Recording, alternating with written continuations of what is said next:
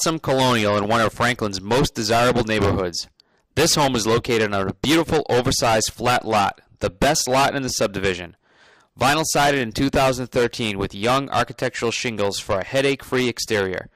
Great floor plan with oversized family room with fireplace that runs almost the full width of the home. Separate formal dining room with wainscoting. Large kitchen with ceramic tile floor.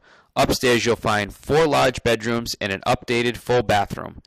This home has everything you've been looking for and represents a great value, located very close to shopping and schools. Make this great home your own today.